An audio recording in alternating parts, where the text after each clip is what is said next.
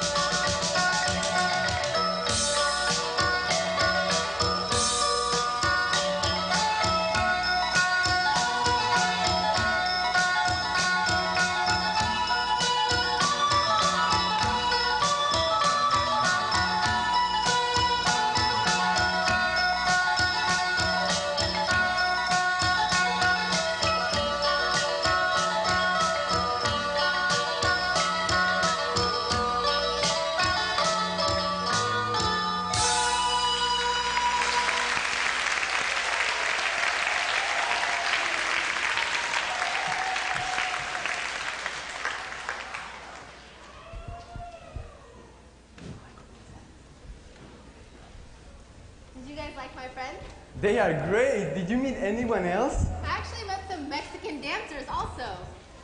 You mean like Ricky Martin?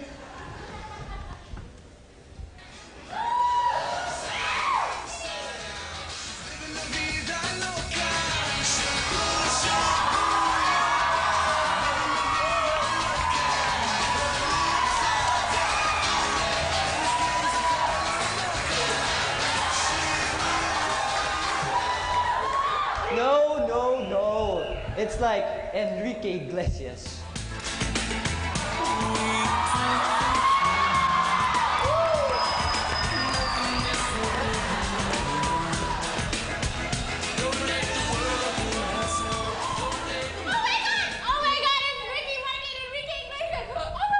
Actually, Ricky is from Puerto Rico and Enrique is from Spain. Well, do we get to see some Mexican dances? I'm sorry, the dancers from Meta couldn't make it at the last minute. Oh. But I really want to see their pretty clothes.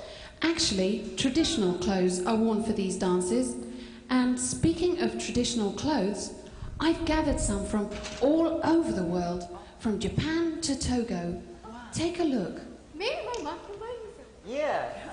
That's good. Cool. Let's go watch Yeah. it. Yeah. Yeah. Watch it now. Yeah, let's watch it now.